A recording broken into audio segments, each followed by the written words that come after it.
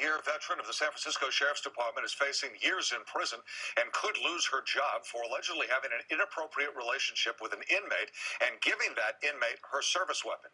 KTVU's Tara Moriarty takes us through the charges against the deputy, including accusations that she staged a fake burglary of her home to cover up her missing service weapon.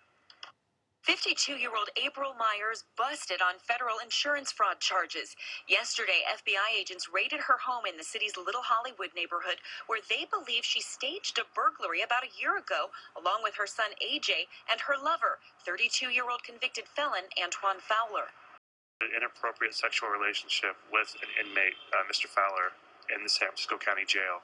A federal criminal complaint reveals that it was Fowler's cellmate who told agents that the two had an intimate relationship in jail, planned a vacation in Hawaii together, and that Myers would get Fowler a gun when he got out of jail. Myers reported a home burglary in March of 2016, claiming her service firearm and a ballistic vest were stolen.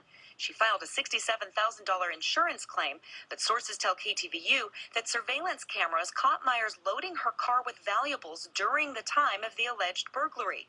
The FBI believes it was all a scam because Myers' department issued firearm was found on Fowler during a traffic stop yesterday. As a sheriff's deputy, Deputy Myers is held to a higher standard, and this is a, a case of public corruption.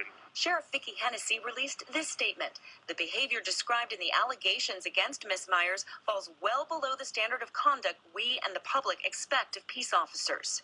Yesterday, agents arrested Myers at the jail ward at San Francisco General Hospital where she works. The sheriff says she has been placed on paid administrative leave pending including termination. Now, criminally, Myers is looking at a maximum of 70 years in prison, Fowler 10 years. And according to the criminal complaint, agents are also investigating Myers' other son, a San Francisco police officer, to see if he had anything to do with the burglary. In San Francisco, Tara Moriarty, KTVU, Fox 2 News.